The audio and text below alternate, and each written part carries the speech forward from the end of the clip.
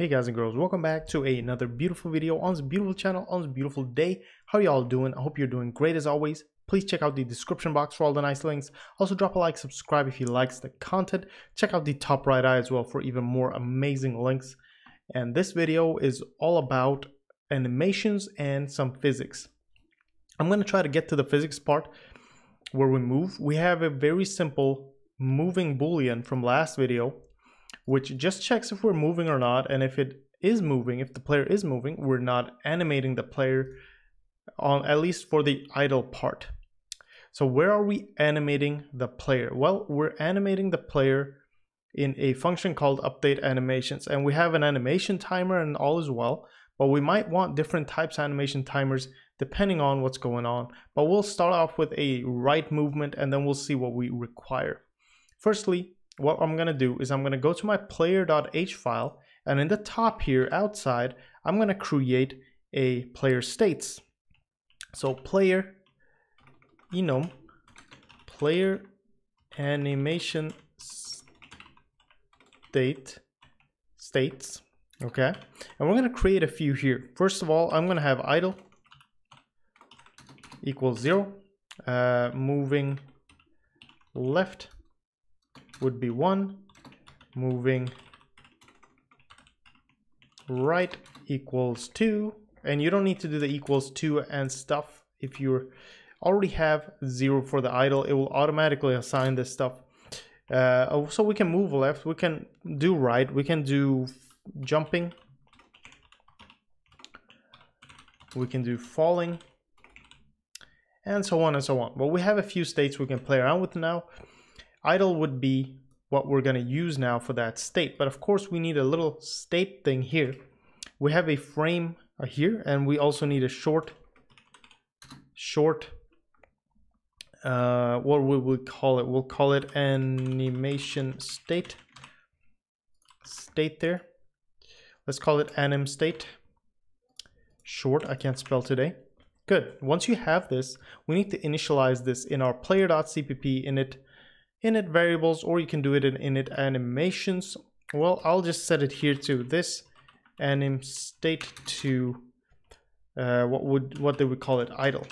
We'll set it to idle. Now, if you're on Code::Blocks or any other IDE and you're getting errors here, you might have to do player animation states idle. So I'll just use that for you guys just in case you get errors. So I don't want you to have any problems.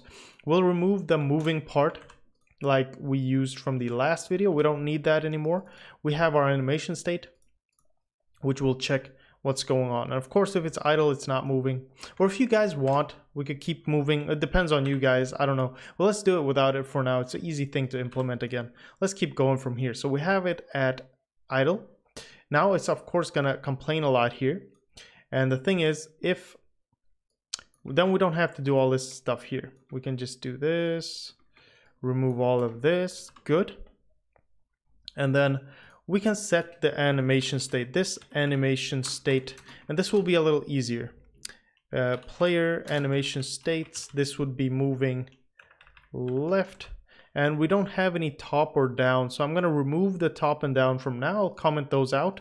We don't need that in our game uh, since our game is a platformer the up and down movement will be done by the falling and the jumping. And this will be moving right. So we're on player CPP, we're changing the update movements function. We're just adding the animation state. We're changing the animation state here depending on what's going on.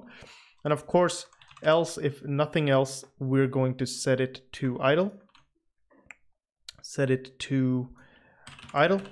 And this might not be the best way to go about things since else jumping. Let's you know what we'll do we'll do this. Up here we'll set it to idle at top. And if anything else is happening obviously you're not idle. So this will be our default. We'll do this. That feels good to me. Here we have our idle animation. If this let's do it up here. This is our update animations. Let's do this outside.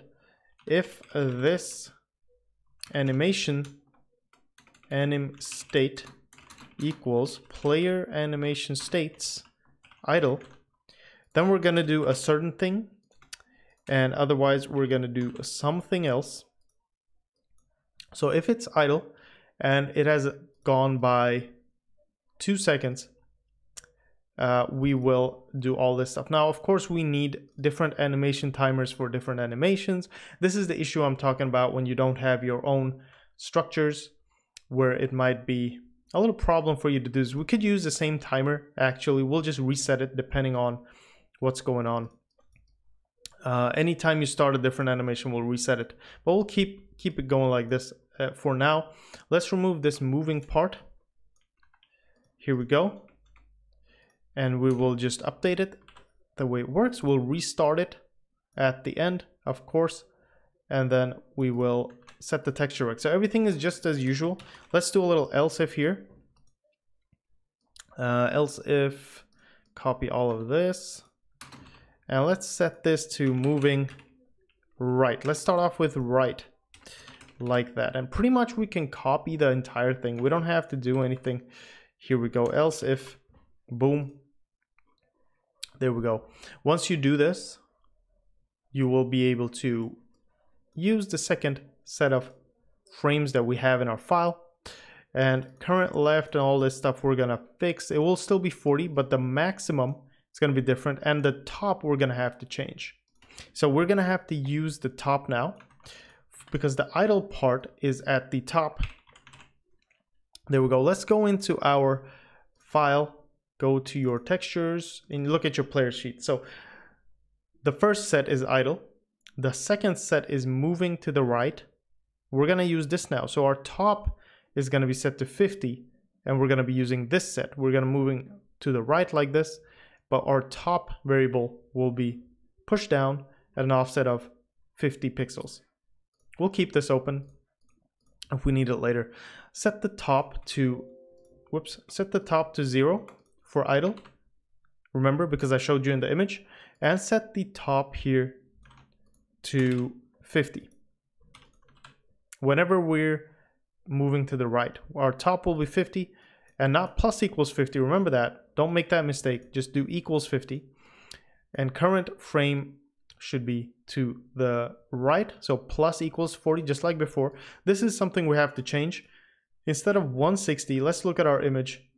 So this is 160. So that is 1, 2, 3, 4, 5 times 40 is obviously that, I guess. 1, 2, 3, 4, 5, 6, 7, 8, 9, 10. Let's do that. I shouldn't require a calculator for that. Let me think. So 10. So that would be 400 minus. So I don't want it to come there. I want it to be minus 40. So once for 360. 360. All right, quick maths. Quick maths, guys. 360 and we'll restart it and we'll move. Okay, let's try this.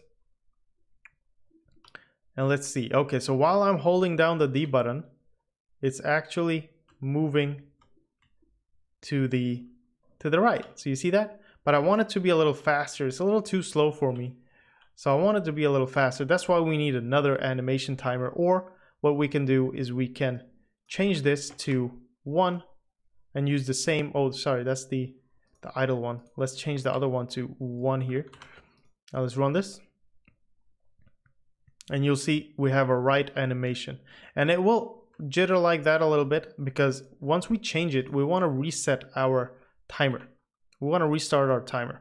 If nothing else is happening, let's just restart our timer and not have anything happen there. And you should see the jitter kind of go away. Kind of go away there, a little faster. So that's a good way to do it, guys. That's a good thing to do. Uh, we are very, very happy with this. Let's move on to the next thing. Let's add a little stuff here to our player. And this should be called physics.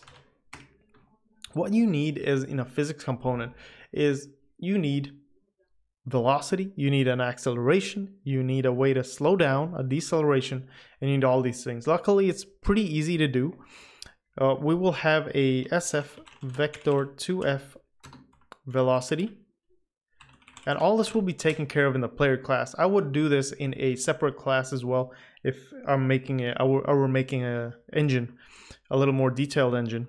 But this is for you guys to just understand it. Then it's up to you later to take this out into parts and work with it. I will make more complicated games later. If you want to watch games where I do use the component system, you can watch my live streams or you can also watch the uh, SFML RPG series. I do use components there. It's a very nice way to keep things organized. Let's go here. Float uh, acceleration is all we need. And then a float uh, deceleration. We'll just call it deceleration. Actually, it's just going to be a percent of the velocity that you're going to slow down. Uh, it will be more like air resistance, kind of. So it's, it's pretty good. It, it gives you a pretty good way of, of moving. Now jumping acceleration would be good to have, but we'll see how, what we'll do with that in a bit. First of all, let's just do the velocity acceleration and deceleration. We're gonna have an update move. We have an update movement function, of course, but we need a void update physics component thingy. Call it, name it like that. Whoops, define it as well. Boom, and you're good to go. Now this is a little teaser for you guys. I'm gonna have to end the video very soon, but it's gonna be a little teaser. What you're gonna do in here, what we're gonna do together, is we're going to update the velocity at all times, all the time. And we're also gonna decelerate the player at all times. And we're gonna add to our velocity here in the movement, depending on what we're gonna do. We're gonna make our own move function, which will automatically take care of all the physics for us and the acceleration and all that stuff. So we don't have to see it in here. And also we'll create a jump function and all these things in our player. So we're gonna make we're gonna make this kind of nice and very very uh, fr not fragmented. What do you call it? It's gonna be in pieces anyway. It's not a component system per se directly, but it is it is still gonna be pretty nice, and you'll still be able to use this in your own games and make a component system out of it. So now we have a moving right animation at least guys. You can play around with this. You can have some fun. Try to make the moving left one because you have to flip the sprite. We're going to do that later as well. We're going to flip the sprite set the origin to the center. That's what you're going to have to do. And we're going to have to make another piece called the hitbox which is going to help us take care of all the collision and movement. We're, we're not going to rely on the sprite for all that stuff. The sprite can be huge, but you want the hitbox to be perfect or a lot better than what the sprite can represent. So we'll do two different classes here and we'll see what we get. But thank you so much for watching this video. Thanks for sticking with me. Hopefully you learned something. Check out the description box, all the links. Also drop a like, subscribe if you like the content, and I'll see you in the next one. Bye-bye.